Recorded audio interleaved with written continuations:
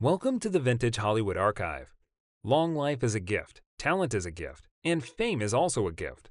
Some people have one and lack others, while very few are endowed with all.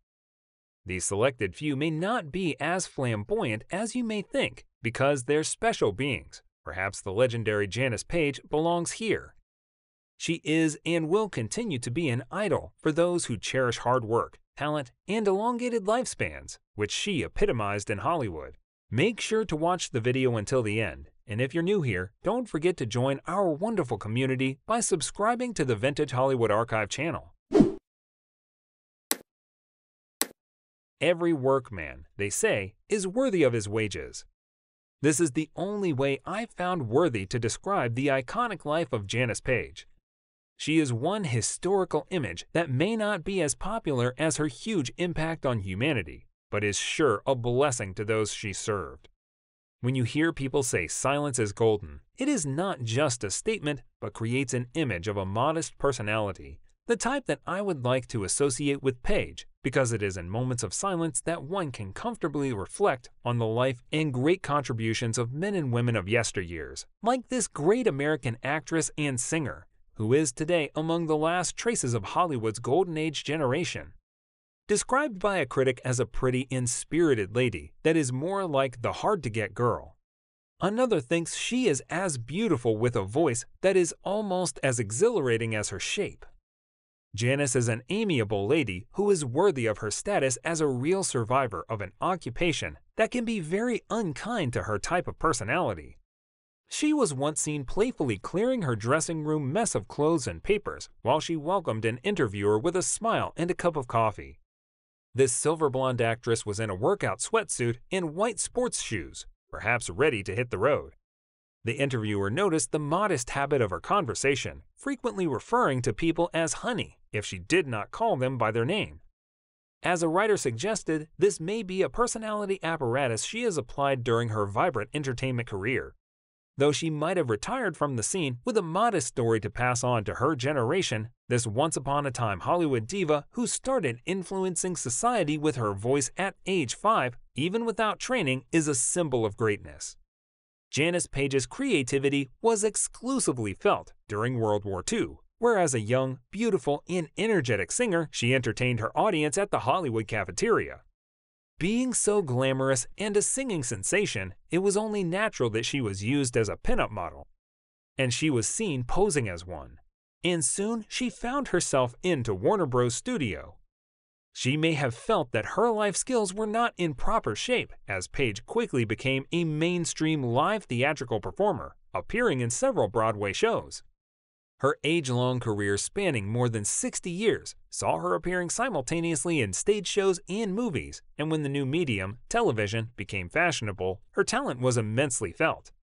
She became a prominent television personality in the middle of the 1960s and would feature in her sitcom, It's Always Jan, with an appreciative audience that history would not forget in a hurry. The good news is that she is still hale and hearty and has continued to pass on her wisdom and enduring entertainment knowledge to the younger generation. Having served the entertainment industry actively from 1940 till 2001, when she finally took a bow, as a friend once said, she is now a senior citizen. Paige is best remembered for her part as Babe in the 1954 Broadway musical The Pajama Game, the production that announced her stardom. She was born Donna Mae Tjaden on the 16th of September 1922 in Tacoma, Washington. She fortunately was the only child of Hazel Lee and George S. Tjaden, whose lineage is a mix of Norwegian, German, English, and Cornish descent. Some of the queries under investigation are her childhood motivation. But after her parents separated, she was left with her mother, who was fronting her for an entertainment career. What exactly inspired Paige for her career choice? It was reported that by the time she turned five, her starshine was already showing, as she was already singing in public, then in local recreational shows. I'm not sure if it was fate or that of being connected to some entertainment pundits, but it was clear that her singing talent was highly encouraging all through her high school. And so, when Paige relocated to Los Angeles on graduating from school, it did not take long before she was signed in as a female vocalist at the Hollywood Canteen, even as World War II rages. By 1944, Janis Paige and her mother were functioning in the Hollywood Canteen. While Hazel, her mother, was servicing in the kitchen, Paige was seen on stage singing.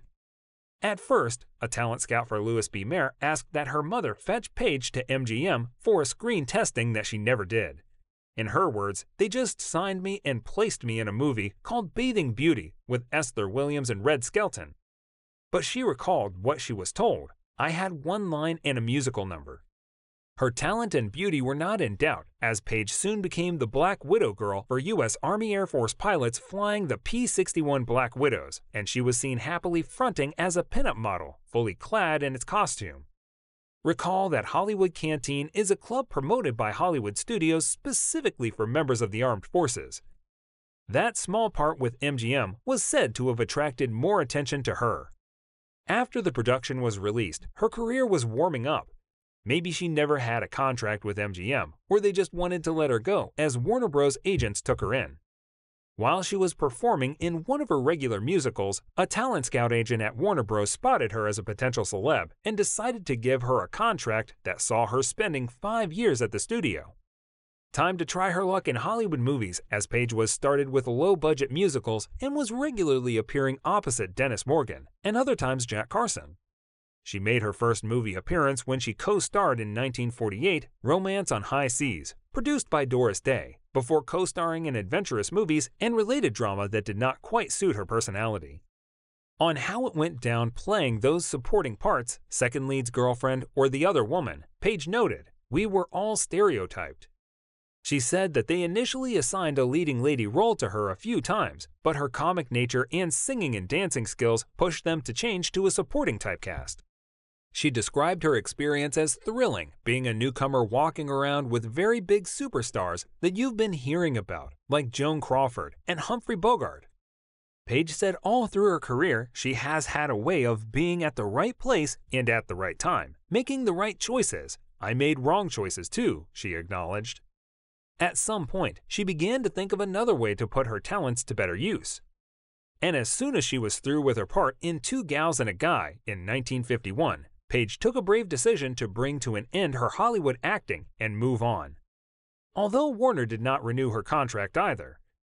Well, she did not leave the entertainment industry entirely. She returned to stage performances because Paige was soon seen performing on Broadway productions until she turned a huge success in a 1951 comic mystery drama titled Remains to be Seen. The production saw her co starring with Jackie Cooper, before she got that part, Paige said the producers had interviewed more than 200 ladies for the same role. And I walked in and I declared that I didn't know anything about going on the stage and that it was not something I felt I could do. But they still gave her the part. It was just insane, she said joyfully. Talking about some of her interesting moments on stage, Paige seemed to be very excited about stage production. For her, there's no such fun as the one you can see on a soundstage. Not with the beautiful atmosphere accommodating the creative makeup department, and you work with people daily and get to know them. You become like a family, Paige explained. I went to bed late and I'd get up late, but everything was fun. At this time, her career was beginning to take shape as Paige continued working hard and doing successful tours as a cabaret soloist. She described every part of the process as fascinating and difficult, adding that being a performer is very demanding Performers, she said, make very fast choices and quick decisions within a very short time of rehearsal. Interestingly, Paige was declared a beauty queen in 1947 when she was named Miss Dam Site, leading to her presence being recognized as the landmark ceremony for the McNary Dam, which is located on the Columbia River.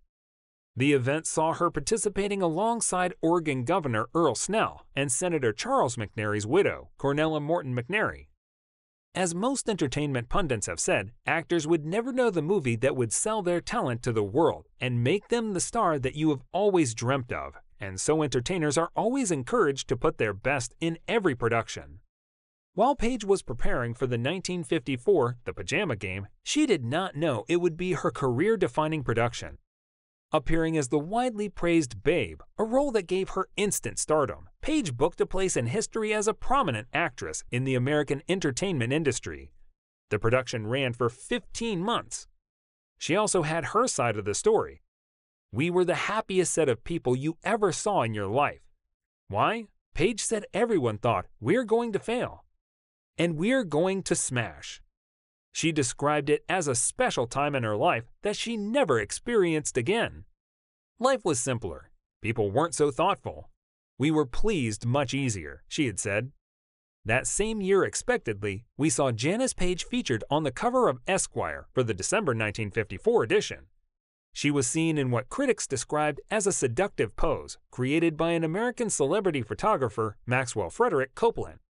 But unluckily for Paige, when the movie adaptation of the production was being planned, the studio preferred an already made superstar to play the role of Babe for an obvious reason.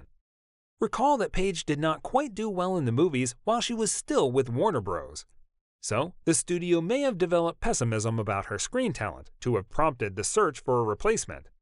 Though another school of thought reported that since none of the two lead actors was a movie prodigy, the film version might not be commercially viable. As such, the studio felt that to ensure the success of the film, there is an immediate need to draft in one major film star. In the initial production, Janis Paige as Babe co starred with John Wright's role as Sid. Reports have it that Frank Sinatra was offered the opportunity to replace Wright, which would have seen Paige co starring with Sinatra. But when Sinatra rejected the offer, the producers rather swapped Paige's role as Babe with Doris Day, who later starred with Wright. The decision left Paige stranded in what would have further elevated her status in the movie industry. But she did not give up, though her performances reduced within the following years as she took time to focus on privacy issues and re examine her screen talent while also doing her stage productions. Paige was better prepared when she returned to Hollywood in 1957, appearing in Silk Stocking, a production that also had the likes of Fred Astaire and Cyd Charisse. She made an appearance in Doris Day and David Niven's comedy Please Don't Eat the Daisies, before appearing as a sex needy married neighbor in 1961 Bachelor in Paradise alongside Bob Hope. At this time, Paige was beginning to find her feet on screen, appearing later in an extraordinary theatrical performance as Marion, the well known call girl in The Caretakers of 1963, plus her TV show. Talking about how tasking her TV presentation was, Paige said unless a performer has a background from Broadway production of plays, when you have a continuing series, you don't have enough time to work. It's a wonderful proving ground for yourself. What about her private life? Paige was married three times to three men at different times, but none of her marriages produced a child. Her union with Frank Louis Martinelli Jr. in 1947 ended about four years after, she married again to Arthur Stander, a television writer and the initiator of It's Always Jan, in 1956, but the marriage was very brief as it was over by the end of 1957. Her final marriage to music composer and publisher Ray Gilbert was naturally separated by death when he gave up the ghost in 1976. When in 2001, Paige noticed an issue with her voice that experts say was a result of irreversible vocal cord injury, she was said to have sought for a solution from an acclaimed voice expert that a friend suggested. It was rather alarming for Paige as her voice worsened to a situation that she was not able to talk. Narrating her ordeal, Paige said she initially lost all her top voice because she couldn't hold a pitch for a second before it went completely soundless. After trying some professional and medical advice to no avail, Paige said she was lucky to meet a voice teacher, Dr. Bruce Exted, who was able to restore her speech. It is several years down the line this great personality once talked about her lavender bag that was her perfect companion during those active years as a souvenir of sorts that she carried from city to city. You need to see it. It's got stickers from different parts of the world. I used to keep it filled with a coffee cup, a can opener, a corkscrew, and various plastic pieces, she said. Including crackers, cheese, grapefruit, and whatever meets her fancy, she fondly recalled. It is often not easy to climb the Hollywood ladder as one actress among many. How Patty Duke became a heavy drinker as a child. You have to find it out.